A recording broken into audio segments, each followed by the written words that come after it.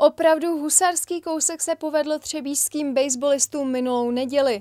V České republice má tento týden soustředění chorvatská reprezentace, která vyzvala Třebíč k sehrání přátelského utkání. Baseballisté Třebíč Nuclears, kteří hrají naši druhou nejvyšší soutěž, výzvu přijali a svého soupeře, jak se patří, zaskočili. Utkání totiž obod vyhráli. Do vyrovnaného zápasu vstoupili lépe domácí, kteří první směnu vyhráli 1-0. Hosté poté srovnali, čtvrtá směna pak skončila nerozhodně 2-2. V šesté směně se ale Třebíč opět dostala do vedení, které dokázala ubránit až do samého konce.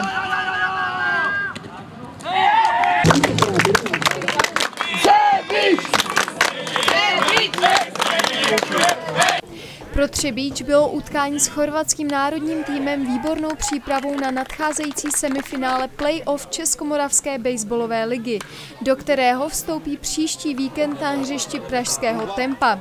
Také Chorvati se hrají s pražskými týmy ještě dva zápasy, poté ale zamíří do Holandska, kde tento pátek začíná seniorské mistrovství Evropy.